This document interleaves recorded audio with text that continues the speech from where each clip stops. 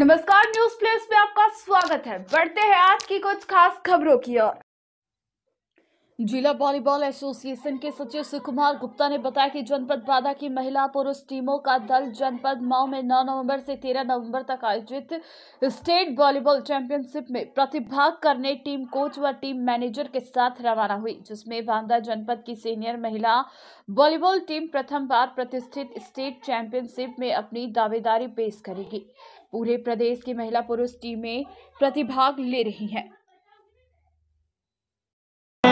जिला volleyball association की तरफ़ से जो चयनित टीम है, वो इकहत्तरवीं स्टेट वॉलीबॉल चैंपियनशिप जो कि मऊ में आयोजित हो रही है।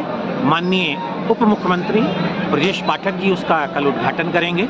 9 से 13 तारीख तक आयोजित होने वाली इस प्रतियोगिता में पूरे प्रदेश की महिला और पुरुष वॉलीबॉल टीम में प्रतिभाग कर रही है बांदा से कौन कौन टीम भाग बांदा से जो है हमारी जो पुरुष जो टीम है हाँ। उसमें बेसिक शिक्षा परिषद के खिलाड़ी हैं हाँ। कोयरा मुगली के खिलाड़ी हैं स्वराज क्लब के खिलाड़ी हैं और बड़ोखर के खुर्द के खिलाड़ी हैं हाँ। जिनकी सम्मिलित टीम है क्योंकि अभी जो एक आयोजन हुआ था जिला वॉलीबॉल चैंपियनशिप हाँ। उसमें बेसिक शिक्षा परिषद बांदा की टीम विजयी रही थी इसलिए सर्वाधिक खिलाड़ी जो है उस टीम के जा रहे हैं उप विजेता गोयरा मुगली रही थी तो उसके खिलाड़ी जा रहे हैं और बड़ो खरसो राज क्लब के जा रहे हैं। आज जो रवानगी है?